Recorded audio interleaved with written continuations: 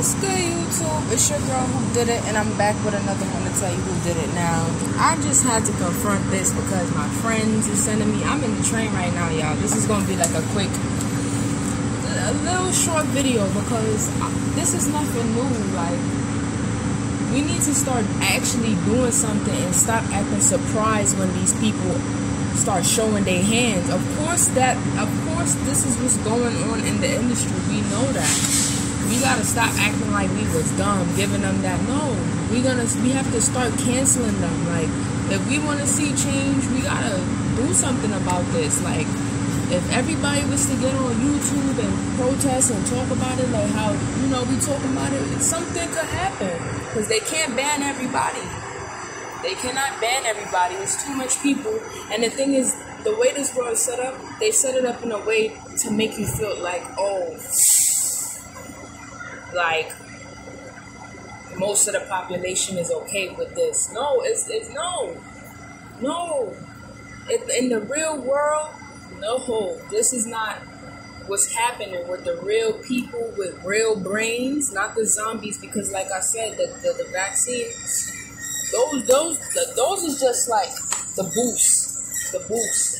We already walking amongst zombies, like I don't know if y'all don't realize, but we're living in a total twilight zone. Like nobody, like Mac bit of truth. He be like he was right about a lot of the things, and I gotta shout him out, and I exposed him seeds out because you know they was confirming a lot of stuff I knew since I was like 13, 14. I was into this type of stuff, like, and they actually gave me confidence and made me have the voice that I have today to be able to come out and speak.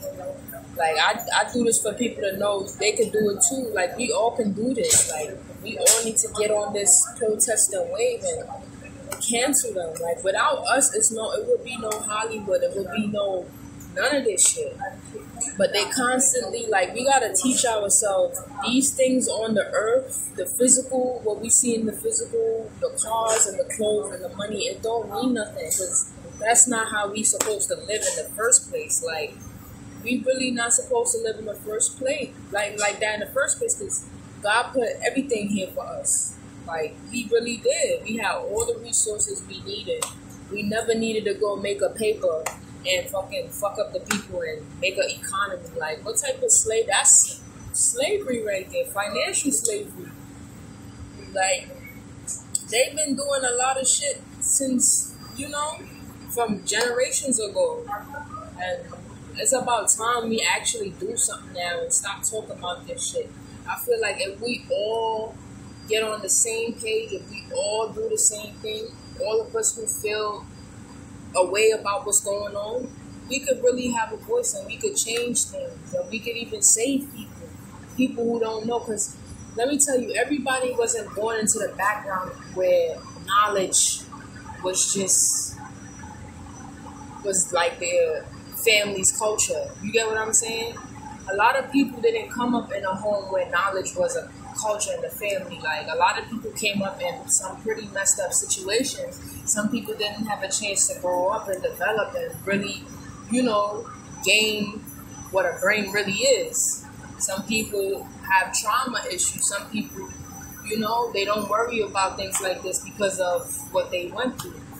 You know, so that's why I said anything, if anything, if you have to drop something and focus on your mental health, go ahead.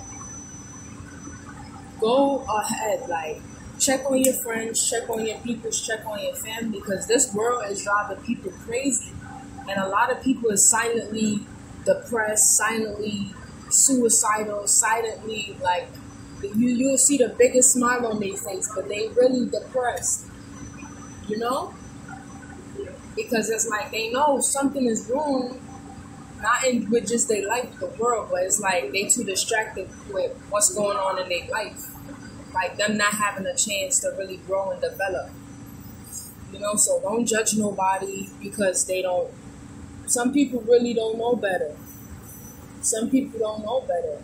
You know, so I shout people out too. Those people who had lack of knowledge and they seek knowledge. You know, I didn't know what was going on. You know, it takes time. Maybe some people catch on faster than others. It's not. Don't judge nobody because they don't know. You know what you know, or they don't see what you see. Help them see what you see. So let's all get on the bandwagon and let's start banning these people. They corrupting everything. It's like nobody could tell me. nobody could tell me there's not an agenda being pushed. Now you got basketball players wearing skirts, which which have been happening from a long time. Diddy did it before, ASAP Rocky did it before, Young Thug did it before, Future wore a skirt. Like all these people, all these people, like, and we just keep letting it slide. Like, nah, let's cancel them. Let's stop supporting them. Let's stop supporting them because basketball ain't even a real sport no more with their magnetic hoop. Everything in the sports is rigged. So let's stop supporting these people because obviously they're looking towards the demolition of mankind. So, you know. Anyway, I just have to touch real quick on this before my train pull off. But who did it? Out. Oh, and like, share, comment, subscribe, tell a friend to tell a friend.